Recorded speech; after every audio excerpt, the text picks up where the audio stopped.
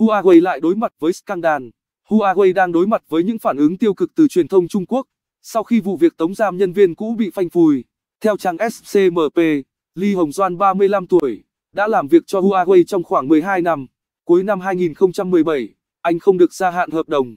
Nguyên nhân do Lee đã báo cáo với cấp quản lý công ty về việc gian lận trong nội bộ của mình vào năm 2016. Lee cho biết anh muốn nhận 331.000 nhân dân tệ, khoảng 47.000 đô la Mỹ. Sau khi thôi việc, công ty đã chuyển 300.000 nhân dân tệ vào tài khoản của anh vào tháng 3 năm 2018.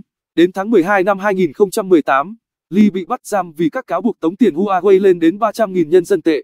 Tuy nhiên, anh đã được thả vào tháng 8 năm 2019 vì những bằng chứng tố cáo Lee không đủ. Lee cho biết đã bị cảnh sát giam giữ trong 251 ngày.